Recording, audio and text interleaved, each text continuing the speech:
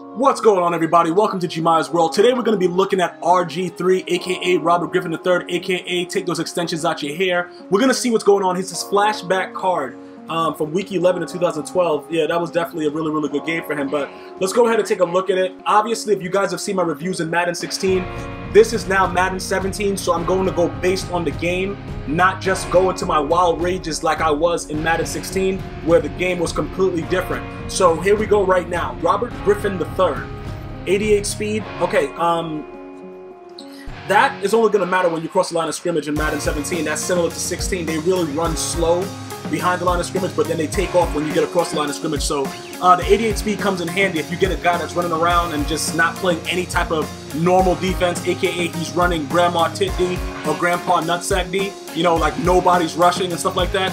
That's going to come in handy up the middle, on the sideline, stuff like that. So you might want to deal with that. The throw power is a little low in my opinion.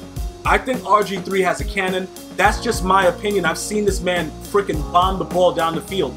Uh, short throw accuracy 93, medium throw 85, throw deep 79. That that's kind of crazy in my opinion. That's crazy for him to have such a deep low throw.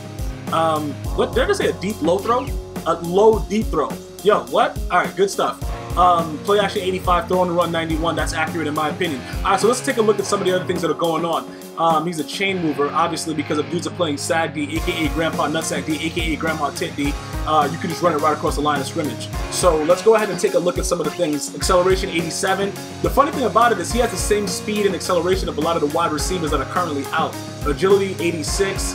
Um, you know, all the all these other things I'm not going to really go into because if you hit the quarterbacks currently with the way the fumbles are, they're all fumbles. So looking at carrying and stuff like that, it's all going to be similar.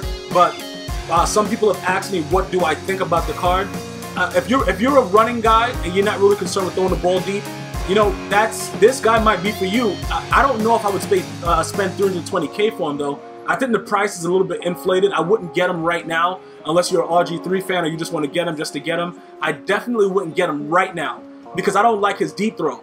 That that is really really low, and this is I'm gonna let you guys understand this. The deep throw matters okay? In Madden 17, you're gonna throw the ball out of bounds a lot more times if it's like under 80, 85. You know what I'm saying? Just, just try to get a guy that can really throw the ball deep just in case you need it. But I, again, if you run the read option offense, you can run it a little bit better than you could in Madden 16. So he is useful, and I run different schemes um, depending on what I'm playing, my franchise, ultimate team, whatever like that. I just don't. The, the one thing I really just don't like is the deep throw. The deep throw accuracy is completely low and ridiculous, and that's going to cost somebody like myself that throws the ball deep usually. So, all in all, you know, is he a decent card?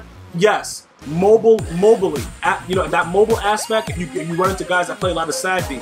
But overall, dotting people up, if you're doing a lot of mid-range and short throws, fine. But if you like to throw the ball deep, he's going to cost you. Even if the guy beats the press and he's running by himself, a 79 is going to throw the ball out of bounds, which is very accurate and commendable for Madden 17. They've really taken a lot of these attributes on the field, and I love that about Madden 17. So, um, all in all, you know, I, I, don't know if I would highly recommend this card at this price.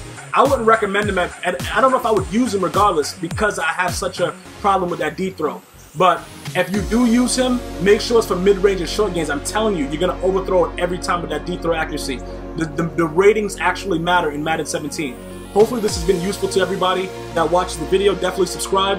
Join my franchise if you want to by going to gmiasworld.com and getting on the waiting list. Def and also you can listen to it on iTunes, Android, and a lot of different other apps. Just check the information inside the description box on this video right here. Welcome to Gmia's World if this is your first video, and I hope to see you later on when I put out more gameplays. One love.